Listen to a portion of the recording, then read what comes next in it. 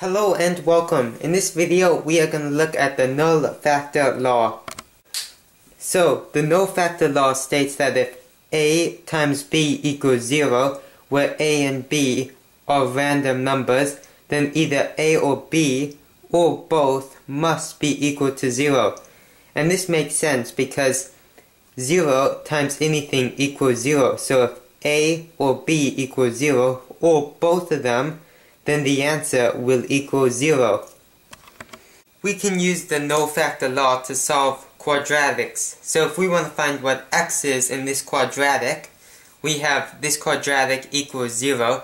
The equals 0 is very important because that means we can use the null factor law. So the null factor law is where a times b equals 0 and either a or b or both are 0. So in this case, this or this must be equal to 0. So if this was equal to 0, x would be equal to negative 2.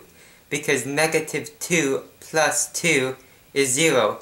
So x is equal to negative 2 or x can also be equal to 5 because here if x is 5, 5 minus 5 is 0, so the null-factor law could work there as well, which means the solution to this quadratic